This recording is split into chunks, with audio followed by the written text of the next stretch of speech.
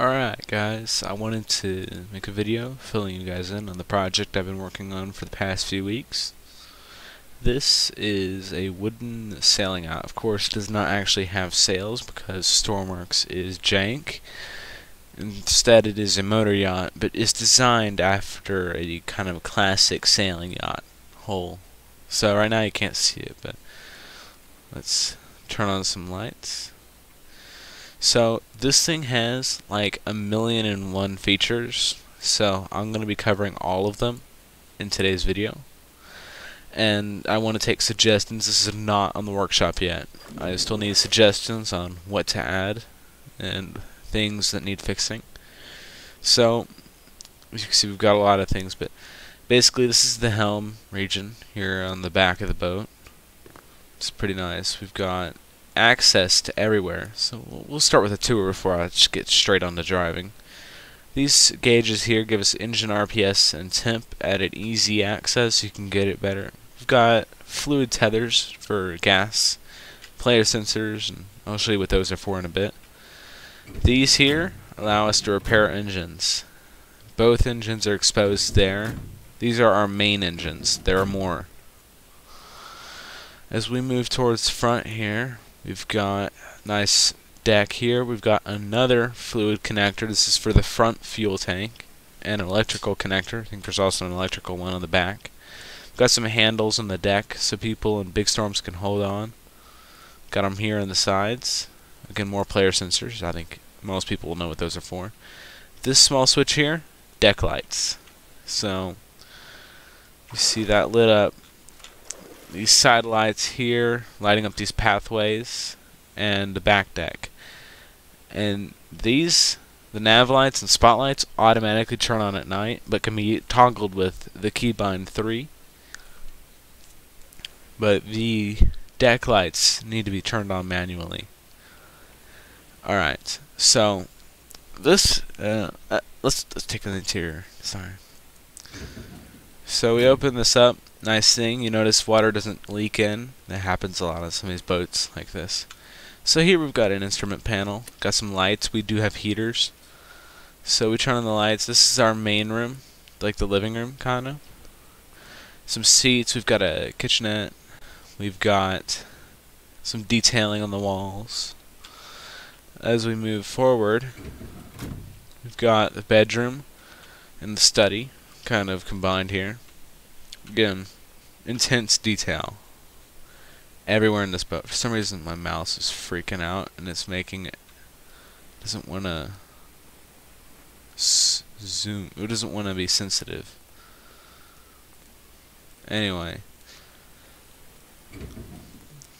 we will go to the back here, where we've got our eating region. My god, my mouse. I'm literally picking it up and dragging it across my table right now to make to make a movement. Um, we've got two doors in here. This one is our engine room. We've got a switch in here for lights. Two seats for anyone that wants to sit down here, and this is the booster engine. This one will only kick in to give additional speed once the other two are fully engaged. And uh, it can go up to 30 RPS, and it's a little bit heftier setup. And so this is how you access it. It was basically added because we needed more speed.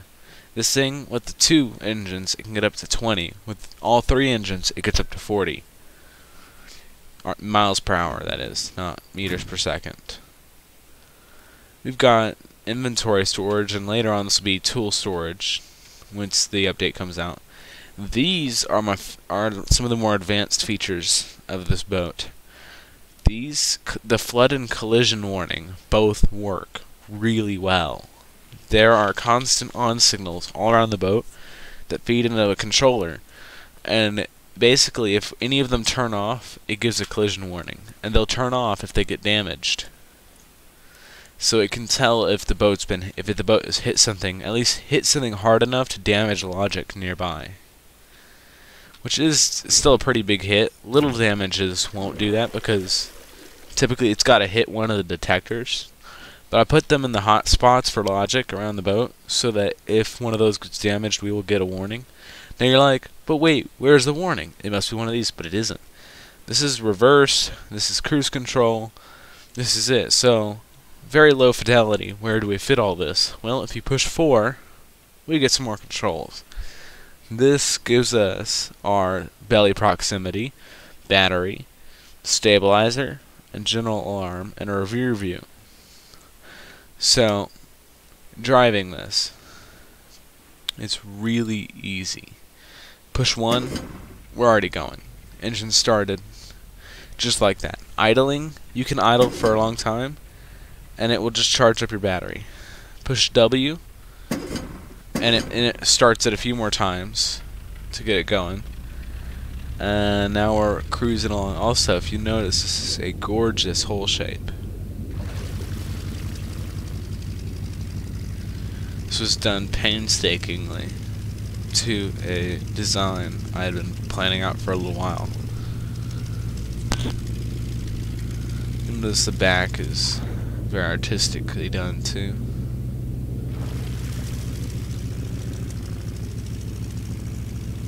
So, now that we're going, we've fully throttled it up. That's what that bar is, the green bar. If I push 2, it locks that. I can let go. It's got a cruise control mode that locks it so I can get off the helm and walk around. Now, say, whoops, I fell off the boat. What now? It waits for me. Those are what all the player sensors are doing. I want this to be career mode friendly so that you can do stuff in career mode. It can a useful boat. And the problem with this boat is in stormy weather, people fall off. It happens. So as long as there's a person on the boat, it'll keep on going. But if and all you gotta do to reset it is just hop on the helm and it gets going again. Like there was never even an issue. So you're like, no, this is good and all, but we're only going like 25 miles per hour. That's realistic, sure, but is that good for career mode when you need to get somewhere fast and you're running out of time? Well, flat out, it isn't. So, I put this in. If I push 5, it enters sport mode. This is a little less stable and you cannot leave the helm while you're in sport mode or else you risk going off course. But it doesn't turn it off or anything, so it's not perfectly idiot-proof. So you'll see these additional exhausts kick in on the side of the boat to allow more flow for the booster engine. With this kicked in, we pulling um, 41, 42 miles per hour, which is a much good. It's much better speed for missions like this that you need to do stuff fast. So this boat also is meant for more luxury and a more leisurely experience.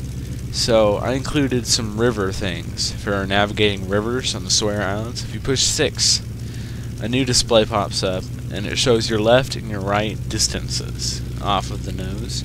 I was going to have a nav system for this, but it was a little bit complicated to work with and it didn't feel right on this boat. So I simply did a left and right distance and the screen switches to a crow's nest cam way up on the front mast. Another thing to mention, if you look at this front spotlight, if you push your left and right buttons, you can move it. That's pretty useful if you need to see things, you know. It's good to give a good sweeping angle of light. Gives you good visibility. Um, uh, the boat runs beautifully. Like, turn it off, and it will just sit there no issues. The engines won't fight you. They won't be inefficient. They're like completely automated engines. This all the Luas on this craft I built myself. There's only a few. um, this boat handles low speeds really well. Take a look here. I've just engaged at a low low pace you'll see we won't hardly even move, you know. But it handles it like a dream. So you could just kind of cruise right along, not having to worry about the boat making funny noises or being annoying. When we get down to radio, um, it's as easy as this. The channel selector is here. the speaker is here, but you're like, where's the microphone?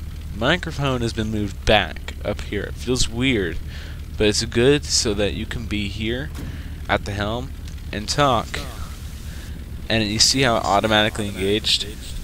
There's two large RXs in the bottom of this boat that always are sending and receiving on whatever channel is selected so that you don't have to have a push to talk in game and out of game which I think is ridiculous. So I just have it an exterior push to talk. Anyway um let's see here. We've got yeah so I think what we should do now is test some of these warning and collision systems ooh but before that Let's see how this thing handles heavy weather and nighttime conditions. So a lot of people wonder about this kind of thing. So, this boat, this is at a low speed. Let's kick it up a notch. Now, a thing to note, on the back mast, it's hard to see, but that is the air intake. The exhaust pipe up there, that is the air intake. Meaning, that this boat, now the booster, those are the main engine's air intakes. The booster motor air intake is over, oh, see, there, fell off, but it's going to wait for me.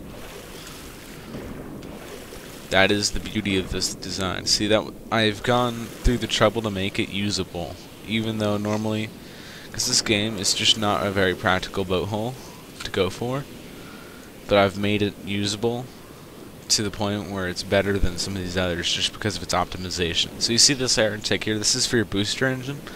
So in super intense conditions, I would not recommend running the booster just because you could get a little water down that intake.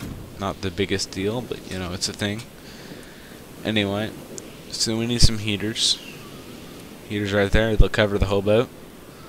We've got some other buttons here. Bilge pumps. Those are pretty nice and roof lights. I don't like those really, but they're there. You'll see them in a moment. I might as well leave these bilge pumps on, damn it. Roof lights, they just light up the roof so that a small helicopter could come in and land. Again, a feature that's unrealistic, but it's very much Stormworks. So I had it installed. Or I installed it. You know what? Back on our way. This thing can just kind of clean through anything. I have jumped tsunamis in it. Jumps right over them, no issue. Does flip on the lay down though. No performance issues in high high turbulent waters, you know. We've got a lot of decorative stuff here going on on the deck. Notice how the radio on the deck lights up whenever I activate my talk. We've got some drawers detailed in the deck. We've got a fishing rod and some sodas over here. Beers or whatever you want to call it. Again, the automatic nav lights and things. Anyway, let's test some of these warning systems. So you should get a warning generally whenever you're in critical danger and you need to go back home. So I'm going to kick in the booster. And we're going to go crash into this bridge. See, this is how much power you can get if you can kick in the booster. That's why I don't recommend it during high wave conditions.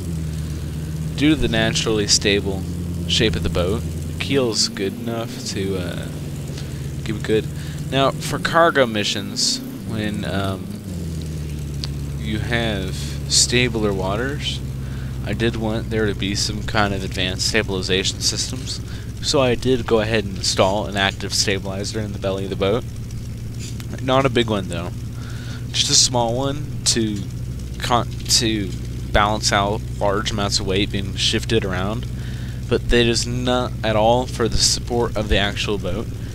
The boat doesn't need active stabilization. It's pretty darn stable, realistically stable. When you turn, it lists, you know. It's supposed to do that.